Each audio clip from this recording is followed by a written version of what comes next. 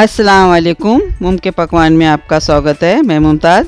मैं आज आपके लिए एक नई रेसिपी लेके आई हूँ। आज मैं चना बोटी बनाने जा रही हूँ। आप इसे ईद में मेहमानों को बना के भी खिला सकते हैं। चलिए देखते हैं इसके लिए हमें क्या क्या लगेगा। ये पाव किलो गोश है। अगर आप कसाई को बोलेंगे तो आपको इसी तरह से चना बोटी बना के दे देगा। ये तीन बड़ी प्याज है। इसे हमने कट करके ले लिया है। ये आधा कप काबुली चना को हमने दो घंटा भिगो के बॉईल कर लिया। ये धनिया जीरे का पाउडर लाल मिर्ची का पाउडर नमक, हल्दी और गरम मसाला, सब हाँ एक टीस्पून है। ये दो टीस्पून अदरक लहसुन का पेस्ट है।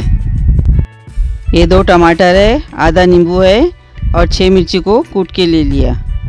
ये दो दालचीनी का टुकड़ा है, चार इलायची है, एक टीस्पून ज़ीरा है। चलिए, अब बनाना स्टार्ट करते हैं। चलिए बनाना स्टार्ट करते हैं मेरी तरीके से। ये कुकर में हमने तीन टेबलस्पून तेल डाल दिया है। अब हम तेल को थोड़ा गर्म होने देंगे।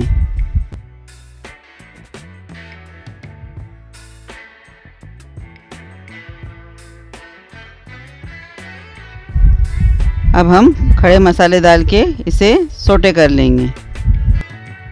अब मसालों में थोड़ी खुशबू आने लगी तो अब हम इसमें प्याज डाल देंगे। और प्याज को भी अच्छे से लाल होने देंगे। आप मेरी वीडियो एंडिंग तक देखिए, आपको मेरी रेसिपी ज़रूर पसंद आएँगी। प्याज लाल हो गई है, अब इसमें हम अदरक लहसुन का पेस्ट डाल देते हैं। और फिर इसमें कुटी हुई हरी मिर्ची और टमाटर भी डाल के इसे अच्छे से भून लेते हैं।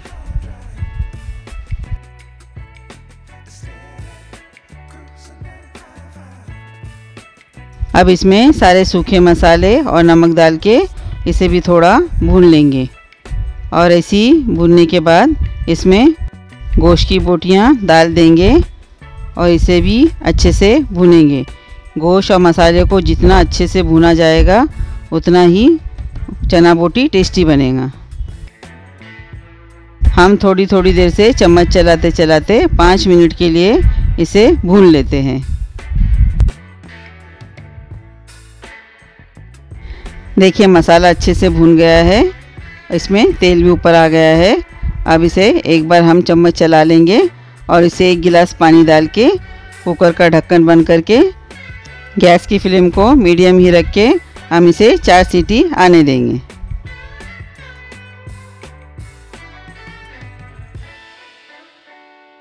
पाँच सीटी हो गई है।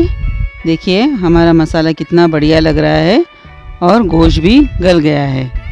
इसे हम चम्मच से हिला के इसमें कस्तूरी मेथी डाल देंगे। हमने जो आधा नींबू लिया था, उसका भी रस इसमें निचोड़ के डाल देंगे। नींबू से इसमें एक खटासपन आता है और इसका टेस्ट और भी बढ़ जाता है। अभी इसे एक बार मिला के इसमें हम बॉईल किए हुए चने डाल देंगे और इसे भी मिला लेंगे। फिर इसमें थोड़ा सा पानी डाल देंगे। हम बर्तन चेंज करेंगे। आप चाहे तो सेम बर्तन में भी रख सकते हैं। इसे हम पाँच मिनट के लिए जोश आने तक रख देते हैं। पाँच मिनट हो गए हैं। हमारा चना बोटी बन के तैयार है। हमने इसे बर्तन चेंज करके इसे जोश दिला दिया था। अब इसमें कोतमीर डाल के इसे अच्छे से मिला देंगे और फिर आपको इसे निकाल के बताते हैं। देखिए, हमारी चना बोटी बनकर तैयार है और ये खाने में भी बहुत ही टेस्टी लगती है। आप भी इसे बकरा ईद में बना के ज़रूर ट्राई कीजिए और मुझे कमेंट करके बताएँ कि आपको मेरी रेसिपी कैसी लगी। प्लीज़ मेरी वीडियो को लाइक, शेयर और सब्सक्राइब करना ना भूलें।